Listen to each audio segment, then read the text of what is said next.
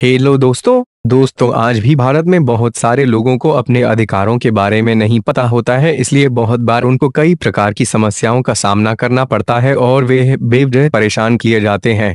आज मैं आपको 20 ऐसे अधिकार बताने वाला हूँ जो आपको ज़रूर पता होना चाहिए। एक ड्राइविंग करते समय यदि आपके 100 सौ मिलीलीटर ब्लड में अल्कोहल का लेवल 30 मिलीग्राम से ज़्यादा मिलता है तो पुलिस आपको मोटर वाहन एक्ट उन्नीस सौ अठासी सेक्शन एक सौ पचासी दो सौदों के तहत बिना किसी वारंट के गिरफ़्तार कर सकती है दो। पुलिस किसी भी महिला को शाम छह बजे बजे के बाद और सुबह छह बजे बजे से पहले किसी भी महिला को गिरफ़्तार नहीं कर सकती। आपराधिक प्रक्रिया संहिता सेक्शन 46 के तहत भारत की हर महिला को यह अधिकार है। तीन, भारतीय दंड संहिता एक सौ छियासठ ए के तहत पुलिस ऑफिसर फर लिखने से मना नहीं कर सकता। यदि वह ऐसा करता है तो उन्हें छह महीने से लेकर एक साल तक की जेल हो सकती है। चार भारतीय सरयूस अधिनियम एक हज़ार आठ सौ सतासी के तहत भारत के प्रत्येक नागरिक को यह अधिकार है कि वे है भारत के किसी भी होटल में, चाहे वे फाइव स्टार ही क्यों ना हो। फ्री में पानी पी सकता है और वॉशरूम का इस्तेमाल कर सकता है।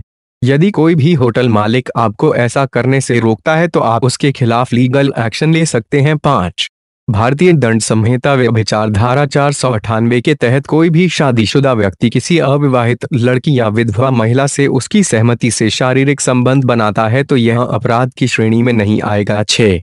यदि कोई वयस्क लड़का या लड़की अपनी मर्ज़ी से लिव इन रिलेशनशिप में रहना चाहते हैं तो घरेलू हिंसा अधिनियम 2005 के तहत यह गैर कानूनी नहीं होगा और इन दोनों से पैदा होने वाली संतान भी गैर कानूनी नहीं होगी। इसके अलावा संतान को अपने माता पिता की संपत्ति में हक भी मिलेगा साथ। पुलिस एक्ट एक हज़ार आठ सौ इकसठ के तहत कोई भी पुलिस अधिकारी हमेशा ड्यूटी पर रहता है, चाहे उसने यूनिफॉर्म पहनी हो या नहीं। यदि कोई व्यक्ति उस अधिकारी से कोई शिकायत करता है तो वह यह नहीं कह सकता कि वह ड्यूटी पर नहीं है और उसकी मदद नहीं कर सकता, क्योंकि वह हमेशा ड्यूटी पर रहता है। आठ। मातृत्व लाभ अधिनियम उन्नीस सौ इकसठ के तहत कोई भी कंपनी किसी भी गर्भवती महिला को नौकरी से नहीं निकाल सकती। यदि कोई कंपनी ऐसा करती है तो उसे अधिकतम तीन साल तक की सजा हो सकती है। नौ। टेक्स उल्लंघन के मामले में कर वसूल अधिकारी को आयकर अधिनियम उन्नीस सौ इकसठ के तहत आपको गिरफ़्तार करने का अधिकार है, लेकिन गिरफ़्तार करने से पहले उसे आपको नोटिस भेजना पड़ेगा। केवल टैक्स कमिश्नर यह फैसला करता है कि आपको कितनी देर तक हिरासत में रखना है। दस। हिंदू मैरिज एक्ट की धारा तेरह के तहत कोई भी पति या पत्नी कोर्ट में तलाक के लिए अर्जी दे सकता है। यदि उसके पास निम्न कारण है तो शादी के बाहर शारीरिक रिश्ता बनाना, शारीरिक व मानसिक प्रताड़ना, नपुंसकता, बिना बताए छोड़कर जाना, हिंदू धर्म छोड़कर कोई और धर्म अपनाना, पागलपन, लाइलाज, बीमारी, वैराग्य लेने और सात साल तक कोई अता पता नहीं होने के आधार पर तलाक की अर्जी दाखिल की जा सकती है। ग्यारह मोटर वाहन अधिनियम की धारा एक सौ उनतीस में वाहन चालकों को हेलमेट लगाने का प्रावधान है।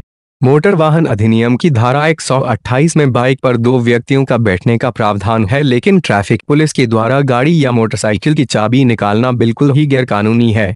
इसके लिए आप चाहे तो उस कांस्टेबल या अधिकारी के खिलाफ कानूनी कार्रवाई करवा सकते हैं। बारह दंड प्रक्रिया संहिता उन्नीस सौ तिहत्तर के तहत केवल महिला पुलिसकर्मी ही महिलाओं को गिरफ़्तार करके थाने में ला सकती हैं।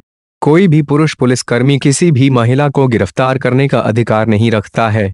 इतना ही नहीं, महिलाएँ शाम के छह बजे से छह बजे बजे के बीच पुलिस स्टेशन जाने से मना कर सकती है। ये गंभीर अपराध के मामले में मजिस्ट्रेट से लिखित आदेश प्राप्त होने पर ही एक पुरुष पुलिसकर्मी किसी भी महिला को गिरफ़्तार कर सकता है। तेरह दोस्तों, आपको जानकर हैरानी होगी कि यदि आपका गैस सिलेंडर खाना बनाते समय फट जाए तो आप जान और माल की भरपाई के लिए गैस सिलेंडर कंपनी से 40 लाख रुपए तक की डिमांड कर सकते हैं। यह राशि आपकी मदद के रूप में दी जाती है। चौदह, आपको जानकर ताज्जुब होगा कि यदि आप किसी कंपनी से किसी त्योहार के मौके पर कोई गिफ्ट लेते हैं तो यह विदेशी अंशदान नियमन अधिनियम 2010 के तहत रिश्वत की श्रेणी में आता है। इस जुर्म के लिए आपको सजा भी हो सकती है। पंद्रह यदि आपका चालान बिना हेलमेट या किसी अन्य कारण से काट दिया जाता है तो मोटर वाहन संशोधन विधेयक 2016 के तहत फिर दोबारा उसी अपराध के लिए उसी दिन आपका चालान नहीं काटा जा सकता। सोलह। अधिकतम खुदरा मूल्य अधिनियम 2014 के तहत कोई भी दुकानदार किसी उत्पाद के लिए उस पर अंकित अधिकतम खुदरा मूल्य से अधिक रुपए नहीं मांग सकता। लेकिन उपभोक्ता अधिकतम खुदरा मूल्य से कम पर उत्पाद खरीदने के लिए दुकानदार से मोलभाव कर सकता है। सत्रह। यदि आप कहीं पर जॉब करते हैं और आपका मालिक या ऑफ़िस आपको सैलरी नहीं देता है तो परिसीमा अधिनियम उन्नीस के तहत आप उसके खिलाफ तीन साल के अंदर कभी भी रिपोर्ट दर्ज करा सकते हैं। लेकिन यदि आप तीन साल के बाद रिपोर्ट दर्ज कराते हैं तो आपको कुछ भी हासिल नहीं होगा। अठारह।